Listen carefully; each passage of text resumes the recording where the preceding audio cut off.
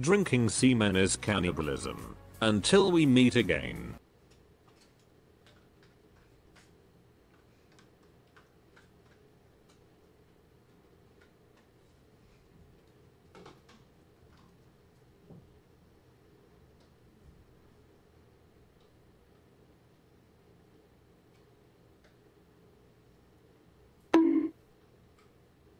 Uh-huh. That's the face of someone who just realized she's a cannibal.